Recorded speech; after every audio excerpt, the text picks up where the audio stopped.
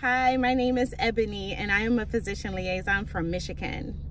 I've been thinking about the Make It Matter workshop from the moment that it wrapped. I was so excited when my manager came to me and asked if I would be interested even attending the workshop. I was excited for so many reasons.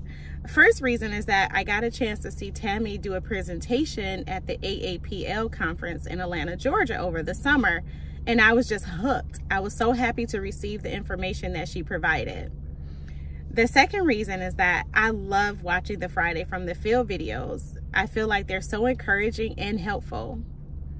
My third reason is that as a new liaison, I needed all the help that I can get.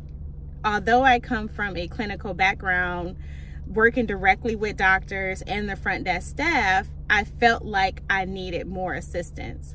I was balancing work, balancing family, also attending school, I was met with challenges of fear of public speaking and also not having a whole lot of sales experience. Attending this workshop gave me a, more insight of things that I need to work on for myself and also things that I need to work on to be able to be great at this position. I just want to thank Tammy and her team for such an amazing workshop. Thank you.